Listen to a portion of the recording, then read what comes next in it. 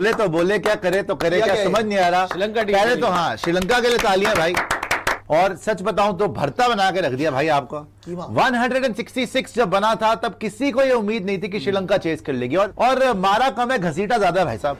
इतनी बुरी तरह इतनी बुरी तरह मारा पहले अट्टा पट्टू ने। इन्होंने तो इतनी बुरी तरह मारा है कि आपका कोई टिका ही नहीं इनके सामने। ये हुआ क्या कोबरा जी? कि हरमनप्रीत कौर को हटाओ स्मृति मंदाना को लेकर आओ। हरमनप्रीत कौर ने जिस तरीके से कप्तानी की है एशिया कप के फाइनल में अब सवाल खड़े होने लगे हैं कि हरमनप्रीत कौर का वक्त अब गुजर चुका है और ऐसा लड्डू कैच नहीं लपक पाओगे। तो भैया कैसे अपनी टीम को एशिया कप जिताओगे? काम जो हमारी मर्दाना टीम ने वर्ल्ड कप 2024 में किया था शायद वो काम हमारी जनाना टीम करेगी। लेकिन कहते हैं ना कि every day is not Sunday और इंडिया और संडे का रिश्ता तो वैसे भी बहुत अच्छा नहीं है। बॉल खेल रही थी तीस पे तीस लेकिन हर्षिता ने उसके बाद ऐसा कूटा ऐसा कूटा।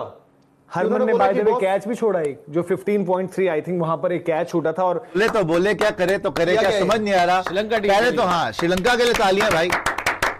श्रीलंका ने एशिया कप फाइनल विमेन में इंडिया को हरा दिया है आठ विकेट से। और सच बताऊँ तो भरता बना के रख दिया भाई आपका। 166 जब बना था तब किसी को यह उम्मीद नहीं थी कि श्रीलंका चेस कर लेगी। और क्या विजुअल्स आ रहे हैं? श्रीलंका मतलब women all over the place मतलब ऑल ओवर द प्लेस नहीं ओवर द मून बहुत खतरनाक इन्होंने मैच खेला है। और मारा कम है घसीटा ज़्यादा है भाई साहब। इतनी बुरी तरह इतनी बुरी तरह मारा पहले अट्टा पट्टू ने। उसके बाद माधवी उन्होंने भी मार दिया भाई। और दो विकेट एक रनआउट हुआ एक आउट हुआ तुमसे। एक रनआउट हुआ और एक आउट हुआ। है 166 कहीं से भी कम स्कोर नहीं है लेकिन इन्होंने मक्खन की तरह चेस करा बाय द वे मक्खन की तरह। अभी डेढ़ ओवर बचा हुआ था और मार मार के भरता बना दिया। एंड में तो दे छक्के में छक्के छक्के चौके छक्के डबल सिंगल और श्रीलंका टीम को आप देखेंगे तो लग रहा है वाकई चैंपियंस हैं। और इंडिया टीम को देखेंगे तो चेहरे पे भारे बजे हुए हैं। I am stunned I am shocked कि आप ये तो लग रहा था यार वॉक इन द पार्क होगा आपके लिए। आप तो आसानी से जीतोगे। आपने पूरा टूर्नामेंट डोमिनेट करा था। स्मृति ने रन मारे हैं बाकी बाकियों ने भी रन मारे हैं विकेट्स भी लिए हैं लेकिन ये हुआ क्या है? मैं तो मिडिल हुआ क्या है हरमनप्रीत कौर ने भी कुछ खास परफॉर्मेंस नहीं दी। तो बेसिकली आज आपके बड़े नाम ने काम करके नहीं दिया। वही उनकी टपट्टू बड़ा नाम। अच्छा काम करके दिया फाइनल अरे भाई आपकी है आपकी जो मर्ज़ी। स्कोर कार्ड दिखा दीजिए, स्कोर कार्ड दिखा दीजिए। 160 166 रन विमेंस। क्रिकेट टीम में बहुत होते हैं कुछ नहीं था कुछ नहीं था। ठीक है अब तो रिज़ल्ट यही है कि इसमें नहीं लेकिन चेस तो इजी करा है बहुत इजी और चेस एक आप, आज आपका 180 भी होता तो शायद 180 मार देते आराम से मार देते 200 होता तो 200 के लिए भी जा रहे थे भाई ये तो इन्होंने तो इतनी बुरी तरह मारा है कि आपका कोई टिका ही नहीं इनके सामने। ये हुआ क्या कोबरा जी? अब जैसे टीम इंडिया में हार टीम इंडिया को हार मिली, बीसीसीआई में हाहाकार मच गया, टीम इंडिया में हाहाकार मच गया और बहुत बड़े एक्शन की तैयारी होने लगी है। अब टीम इंडिया में एक बहुत बड़े एक्शन की मांग होने लगी है। अब क्रिकेट फैंस का कहना है कि हरमनप्रीत कौर को हटाओ स्मृति मंदाना को लेकर आओ। हरमनप्रीत कौर ने जिस तरीके से कप्तानी की है एशिया कप के फाइनल में, अब सवाल खड़े होने लगे हैं कि हरमनप्रीत कौर का वक्त अब गुजर चुका है। हरमनप्रीत कौर को हटाओ स्मृति मंदाना को लेकर आओ। अब ये सवाल खड़े होने शुरू हो गए हैं, क्योंकि फाइनल मुकाबले में हरमनप्रीत कौर ने चार गलतियाँ कर दी, चार। सबसे पहले बल्लेबाजी के तौर पर रन नहीं बनाए, केवल 11 गेंदों पर 11 रन बनाकर आउट हो गई। जब टीम इंडिया को ज़रूरत थी, हरमनप्रीत कौर परफॉर्मेंस नहीं कर पाई। उसके बाद में गेंदबाजी की जब ज़रूरत थी, गेंदबाजी करने के लिए ही नहीं आई। जब आपके बाकी गेंदबाज पिट रहे हैं तो हरमनप्रीत कौर को गेंदबाजी के लिए आना चाहिए था। आप एक कप्तान है, आप एक गेंदबाज भी हैं, आप एक ऑलराउंडर हैं। आपने गेंदबाजी की ज़िम्मेदारी अपने कंधों पर क्यों नहीं उठाई? तो हरमनप्रीत कौर के ऊपर सवाल खड़े हो रहे हैं कि जब आपके ऊपर ज़िम्मेदारी थी, आपकी टीम के गेंदबाज पिटाई खा रहे थे। आप क्यों चुप बैठी रही? आपने गेंदबाजी की ज़िम्मेदारी क्यों नहीं उठाई? उसके बाद में तीसरी गलती कर बैठी कैच के तौर पर। जब एक आसान सा लड्डू सा कैच आ रहा था, भाई साहब, हरमनप्रीत के कौर के हाथ में, कैच आप देखिएगा, बहुत आसान कैच था। आप उस कैच को नहीं लपक पा रहे हो भैया। जब आप खेल रहे हो, मैदान पर हो, खिलाड़ी हो, सीनियर खिलाड़ी हो, कप्तान हो, और ऐसा लड्डू कैच नहीं लपक पाओगे तो भैया कैसे अपनी टीम को एशिया कप जिताओगे काम जो हमारी मर्दाना टीम ने वर्ल्ड कप 2024 में किया था, शायद वो काम हमारी जनाना टीम करेगी।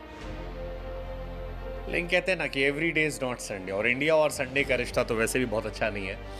शायद यही वजह है कि संडे के दिन श्रीलंका ने इंडिया को एशिया कप के फाइनल में झटका दे दिया। एक तरफा मुकाबले में श्रीलंका की महिलाओं ने भारत की महिलाओं को आठ विकेट से हरा दिया। उफ, चमेरा, अट्टापट्टू क्या कमाल की बल्लेबाज क्या कमाल कप्तान और अ, समर विक्रमा।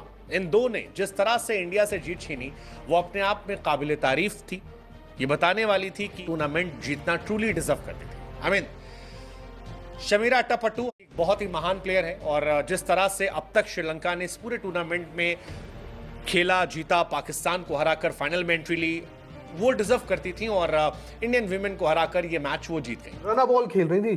तीस पे तीस लेकिन हर्षिता ने उसके बाद ऐसा कूटा ऐसा कूटा। हरमन ने बाय द वे कैच भी छोड़ा एक जो 15.3 आई थिंक वहाँ पर एक कैच छूटा था और वही होता कि ऐसी सिचुएशन में अगर कैच पकड़ लो क्योंकि उसके बाद श्रीलंका की टीम में बाद में आपको पता है कि वो थोड़ी सी बल्लेबाजी में थोड़ा सा आपको दिक्कत बट हमने कहा था कि पिछले मैच में अगेंस्ट वो पाकिस्तान हम कह रहे थे 140 रन बनाए थे। आखिरी ओवर तक। और वो आखिर तक लास्ट सेकंड लास्ट बॉल पर शायद डिसाइड हुआ श्रीलंका वहाँ जीत गया था। एशिया कप को क्या खैर 2004 से जब से हम एशिया कप खेल रहे हैं हमने डोमिनेट किया है और सिर्फ़ दो ट्रॉफी इधर से उधर गई है 2004 से लेके। एक बांग्लादेश हमसे 2018 में जीत चुका है और आज मतलब यहाँ पे भी लग रहा था कि चमारी अट्टापट्टू वर्सेस इंडिया है इंडिया ने 165 बना दिए थे और 165 कहीं ना कहीं लग रहा था जिस हिसाब से विकेट है, देखिए कि यार ठीक है इनफ है। Enough run on the board है और इंडिया कर लेगा, क्योंकि इंडिया की बोलिंग है।